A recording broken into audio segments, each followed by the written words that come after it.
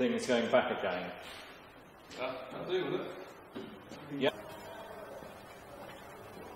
Here on the 4000 we can see the two input shafts going into the gearbox.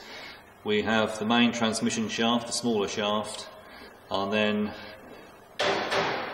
that goes through a hollow PTO shaft, carrying the PTO drive into and through the gearbox to the hydraulic clutch pack, behind which we have our release bearing, which if we spin, you can just about perhaps hear the ticking sound, indicating that they've got quite a rough bearing. Uh, we'd need to replace that to ensure reliable serviceability. I remember this tractor coming into the workshop a while ago as the clutch was slipping. In fact, it was slipping so badly the tractor couldn't move, even in a low gear, had to be towed in for repair. On splitting the tractor and looking at the clutch, this is what we found. The clutch plate friction material had worn so thin the rivets were making contact on the pressure plate and scoring grooves. Note here how clean the bell housing is. Uh, usually not as clean as this, so the first task will be to clean inside the bell housing. Bear in mind might be asbestos dust, so take precautions, uh, keep everything nice and damp with damp rag, damp water to damp everything down with. Uh, otherwise asbestos dust gets into the atmosphere and we breathe it in, causing asbestosis. Um, check the little vent at the bottom, if you like, the drain at the bottom of the bell housing. If we uh, just have a quick look at that, just make sure that is free.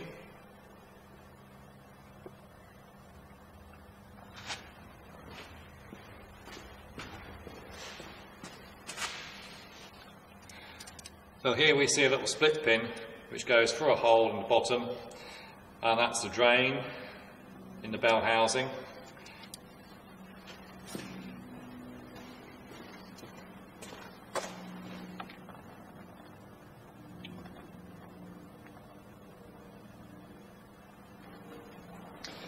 If we find black engine oil underneath that on the ground, then it's going to be the crankshaft rear oil seal, which is leaking. If, on the other hand, we find clean oil under that when a vehicle's being parked, then it's going to be the gearbox leak for a past the gearbox input shaft. So the gearbox input shaft oil seal will need replacing. So looking underground, underneath that split pin can tell you quite a lot.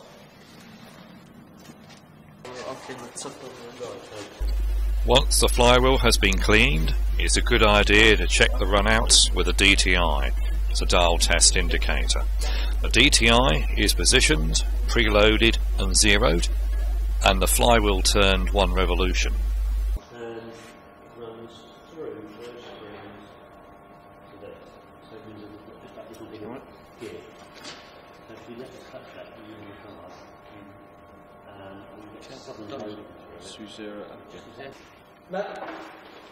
The 4000 is now at the same stage. The alignment tool is keeping the clutch plate central, while the clutch cover bolts are nipped up half a turn at a time. The angle iron wedge stops the flywheel from turning. On the torque wrench. Yeah, yeah, good. The next stage will be to torque up the clutch cover bolts to the manufacturer's figures.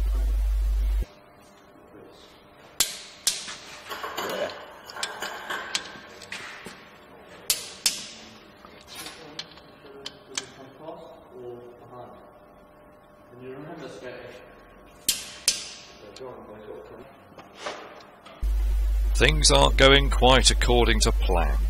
The front half goes back so far, then stops. So work out what's wrong.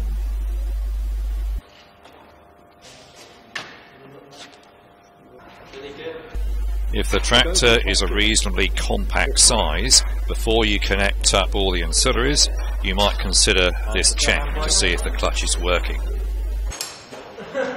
And so clutch down, and then clutch up. Watch the fan blades.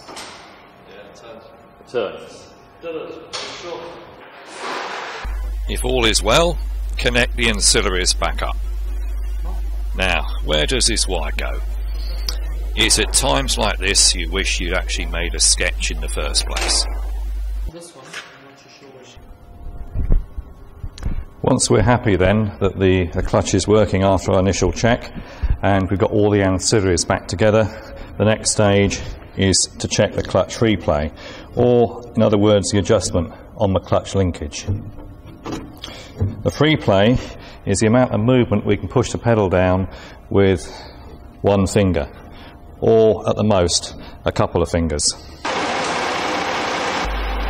Next, the stall test. A high gear is selected, the handbrake applied, put some revs on the engine, the clutch is released progressively to stall the engine. If the clutch doesn't slip, the engine stalls. That's good.